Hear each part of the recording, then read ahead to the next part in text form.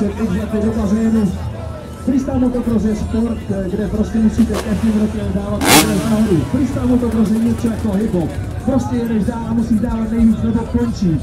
A dneska tady máme toho top majstra, to je Libor Fodmo, mistr světa pro rok 2010. Letos opět souboji sporty z Francie, Španělska, celého světa.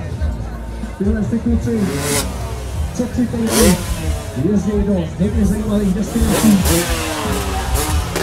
kde se pokoušejí překonávat grantiční zákony. Takže pojďte všichni blíž.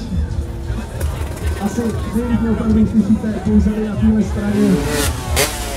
Ta druhá strana je úplně hluchá, tam je to bez dosahu, ale možná se rozhodneme potom přesunout tuhle tu aparaturu někam mezi vás, aby jsme se mohli podělit.